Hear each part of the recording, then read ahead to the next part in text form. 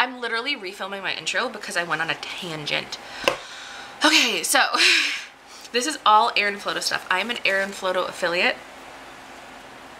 Also, hi, it's XO Ashley Pink, otherwise known as Ashley. This is my third time filming this intro. Number three. So, um, the way my desk is set up, uh, where my camera is, is where my um, computer goes. And because I have a new tripod, I simply just moved my laptop out of the way, and so I have it on the side of the desk I usually use to like, because I have like an L desk, so this is the desk, and then there's like a thing that goes like in and out, so it can be L or it can be normal. I have the L pulled out like I always do and I have my desktop. I have my computer on it. When I say desktop, I don't have a desktop anymore. Anyway, this is a kit from Erin Floto, as well as some other stuff from Erin Floto. This is a scrapbook piece of paper. I believe I got it from Erin Floto, but I could have got it from somewhere else. Um, I don't know if she still does, but she used to send out scrapbook pieces with her Patreon stuff. This is from her shop. It is tabs, so it has like the monthly, and you can get these in Monday start or Sunday start. I always choose Sunday because that's what I prefer for monthly views. And then this is different months, month scripts in holo foil.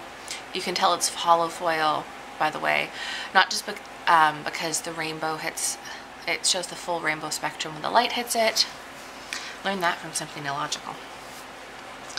Um, and then this is an old kit. This is like one of like the first kits she came out with.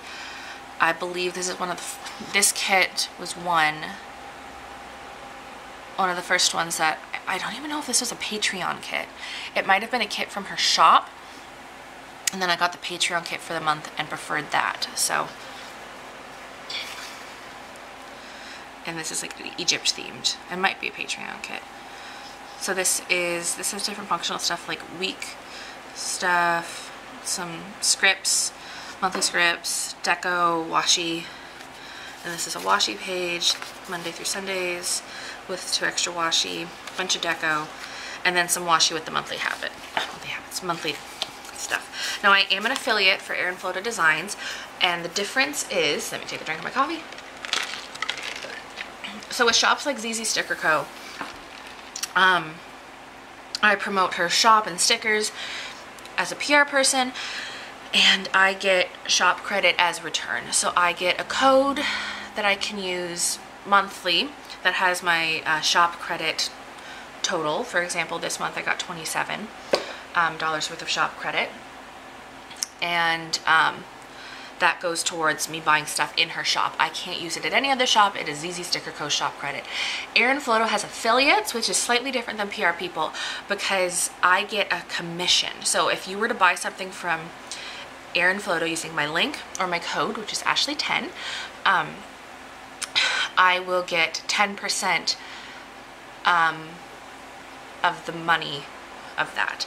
So for example, if you were to buy $10 worth of stickers, and I believe this is before shipping, um, then I would get a dollar. If you were to buy $100 worth of stickers, I would get $10. And that would be if you use my code or my link. Now, I would really appreciate if you use my code or my link because her stuff is amazing. And then I get some stuff too. You get some stickers. It's a great thing. But of course, you don't have to it's your choice but I really she really has some great stuff. She is moving away trying to like slowly move away from um, bullet journal stickers. She has a lot more digital stuff going on. She I'm really interested to see because as a bullet journaler who loves her stickers she will still be doing sticker kits for her Patreon. Um, she has multiple tiers of that. If you um, are interested I, in still having her stickers and you're willing to spend a couple dollars a month, I check that out. But still, she has a lot of digital stuff coming up and her stencils are amazing, so check her out.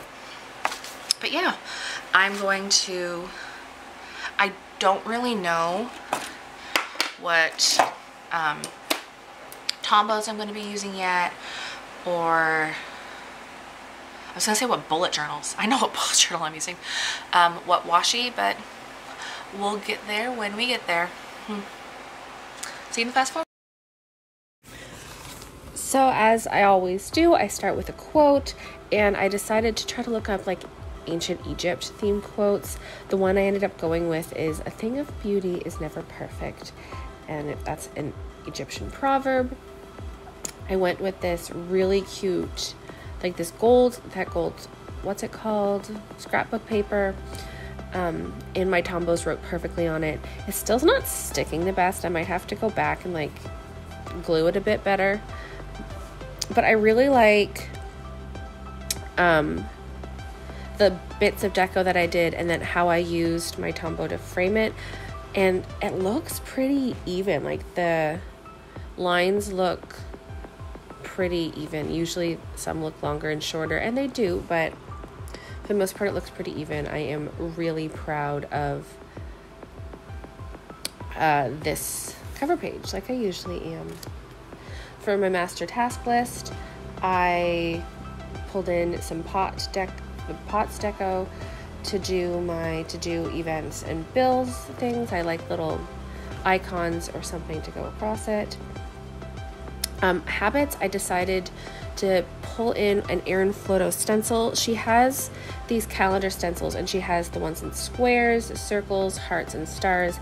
I pulled in the square one as you can see, and then I used a goldish color tombow, a deep maroon color tombow, as well as a deep blue tombow to mark Rosie, my Finch app, which is a goal based app that has you do little things act like all the when you as you complete the goals that you set to do you you give things for your little character to do and go on adventures and i find it's really worthwhile.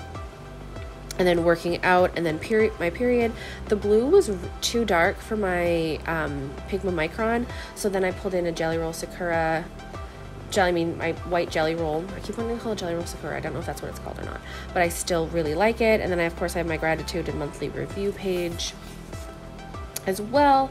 Again, I did my circle tracker. I love this tracker. Um, and I decided to go back to classic colors for the moods. Um, if I don't do a theme, I like to do green for happy, yellow for content, uh, gray for anxious, blue for sad, and red for mad. I still haven't filled in my monthly goals or my cleaning tracker for the month, but I find these pages really help me um, tune in in what it what needs cleaning and what needs done. So I really like how this turned out.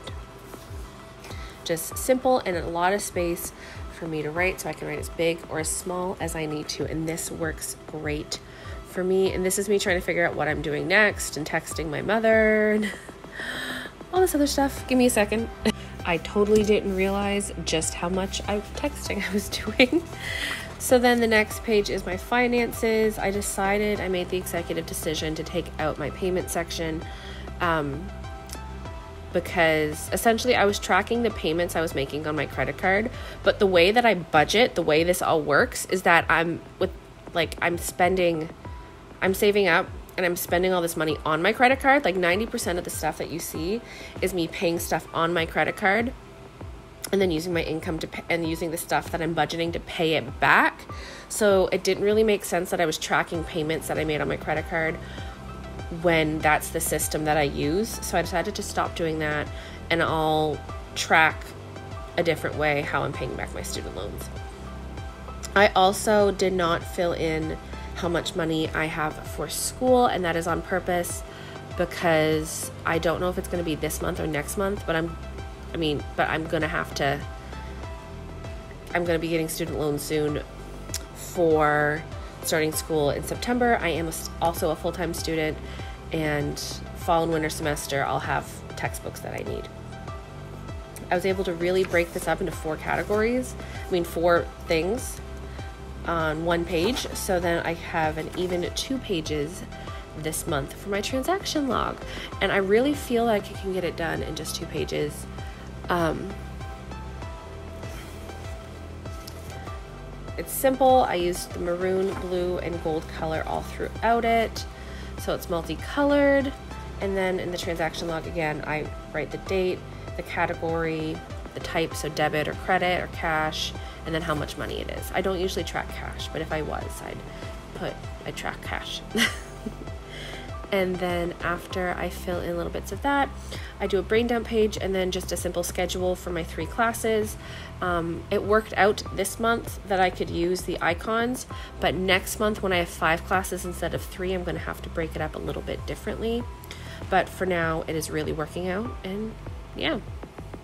Then I just did, I broke up the pages into two page spreads of seven sections uh, so that I could do some journaling each day. This way, I can write down exactly what happened, and um, this way, I can also look back for my memory planning because that's what I'm struggling with. I don't really feel like memory planning sometimes, and I don't really have a. And I also been wanting to journal more, so this just seems like I can write down exactly what I'm doing for my memory planning while also journaling. And I really had fun exploring how I was gonna use the different um, dailies. So, yeah, this is my bullet journal. If you like it, please give like, share, thumbs up, and all that hubba baloo. And I will see you in the next video. Goodbye.